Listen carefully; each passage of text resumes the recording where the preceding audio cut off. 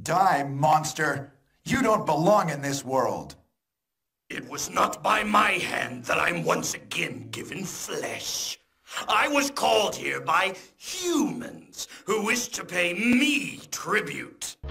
Tribute? You steal men's souls and make them your slaves. Perhaps the same could be said of all religions. Your words are as empty as your soul. Mankind ill needs a savior such as you. What is a man? A miserable little pile of secrets. But enough talk. How about you?